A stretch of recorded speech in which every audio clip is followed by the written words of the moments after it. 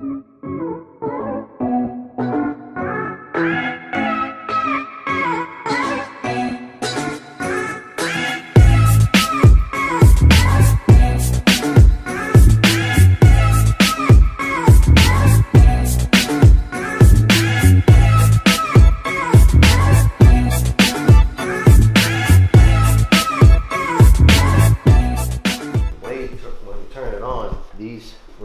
here shoot out water on the blade. It mm-hmm. keeps the blade from burning up.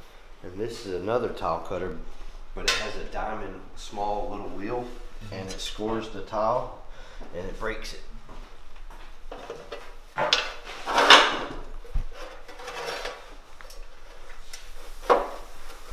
So then this arrow right here represents where that wheel will cut and that's my mark. So. And then you just lightly push down. Voila.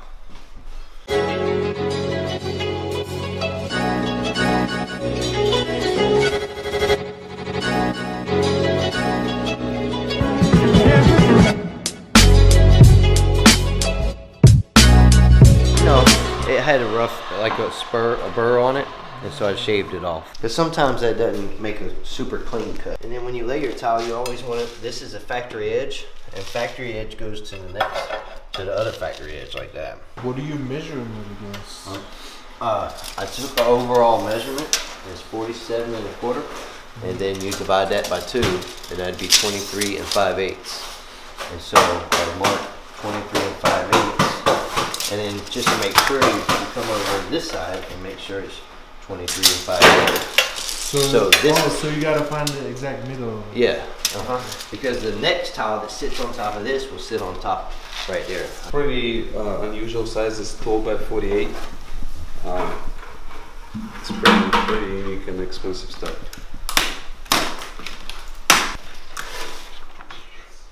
See, so it's pretty cool. Got a little blue going on. Slick.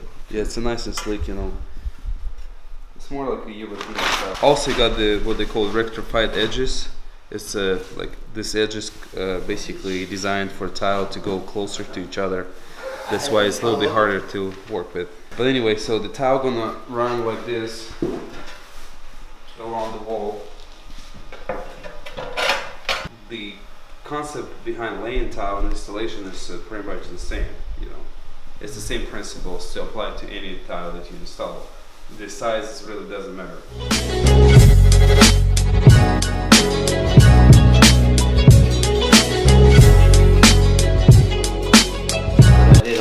Is this is the first run, and I made sure that it's level from the line all the way across. It should be level. The first row, and then once you have it level, then you can keep going and you won't have to use the level.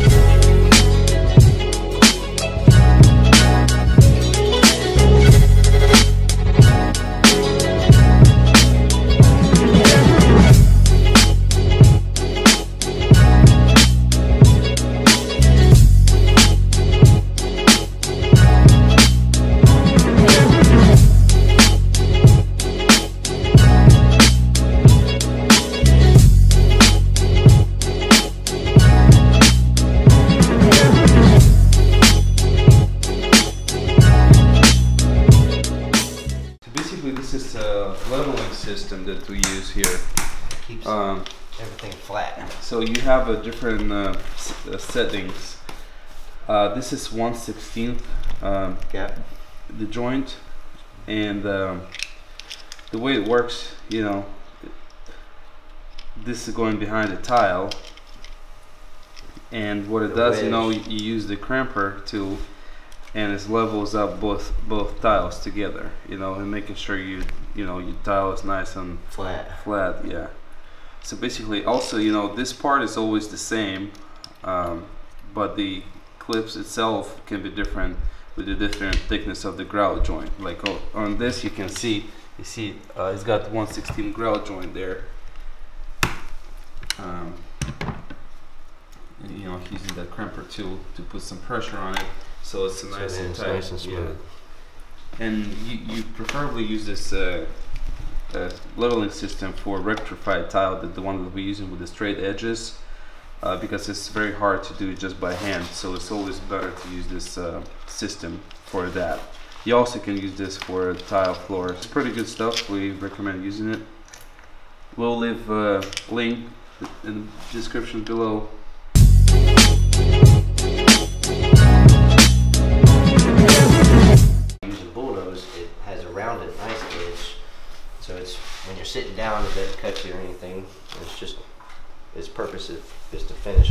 Off the tile. I Uh, measuring the short side of bullnose because it's at an angle, so it has to be cut at an angle.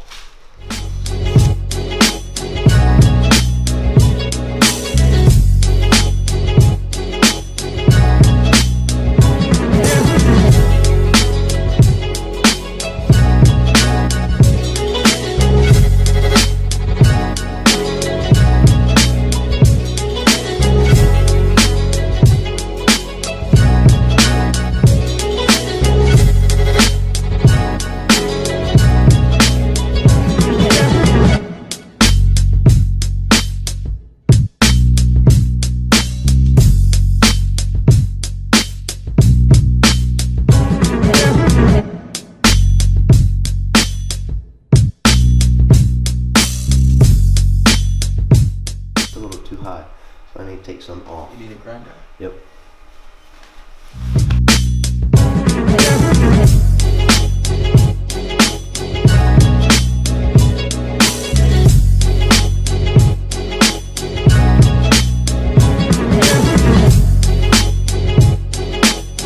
And all this looks okay except for down here.